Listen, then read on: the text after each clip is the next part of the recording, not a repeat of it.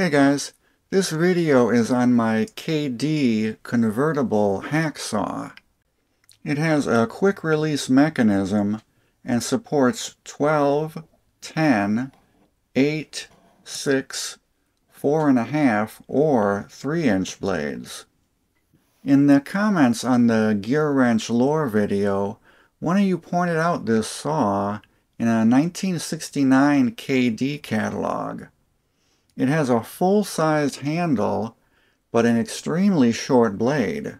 In the advertisements, they said it could cut around corners. That intrigued me, so I had to track one down. There's actually two versions of this saw, so I had to track two down. You can't buy 3-inch blades anywhere for these, so we're going to have to make our own. I got this cheap blade here, I should be able to get three 3-inch blades out of it. If this ends up being a useful tool for me, I can make some out of a better quality blade later on. I'm going to cut the blade down on the grinder and then kind of round off the cut edge a little bit. Then we need to drill the mounting hole, but you can't just drill a hole through a saw blade. It's hardened steel, so we need to anneal it first. I'm going to heat the part where I'll drill the hole with the microflame torch. We want to get it red hot and then let it air cool slowly. We don't want to heat the whole blade because we want to keep the cutting edge hard. Once that's cooled down, we can measure where our holes need to go and then we'll transfer that measurement to the blade. We'll go about here. It doesn't need to be perfect. And then we can take this to the drill press to drill the hole. I'm going with an eighth inch hole. I can always make it larger later if it doesn't line up. Yeah, that drilled right through. Now let's see if it fits. Looking good so far. Let's lock it down.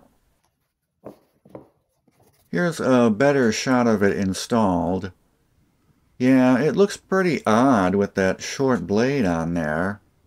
I guess the next thing to do is to see if it can actually cut around obstructions.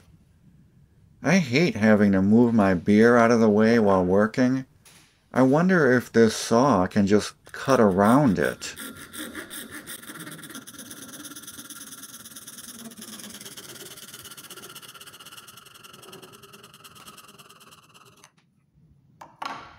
Yep. Let's go over some of the history behind this saw. This saw was designed in 1946 by Harry Culp, who was one of the original founders of KD Tools. The design was a replacement for a 1920s model, which had a large wing nut on the top of the saw. I can see where that wing nut sticking up could get in the way while sawing.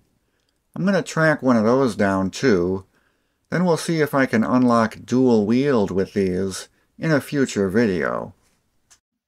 On the 1946 model, the knurled nut lets you pre-tension the blade, and then the lever locks it down. This allows the saw to have full adjustability while keeping a thin profile. This one also has two sets of blade pins, so you can mount the blade on the bottom to do horizontal cutting. The frame is made of 3 16 inch steel and is one piece all the way across to make it stronger. The handle is just stamped sheet metal, but it's surprisingly comfortable.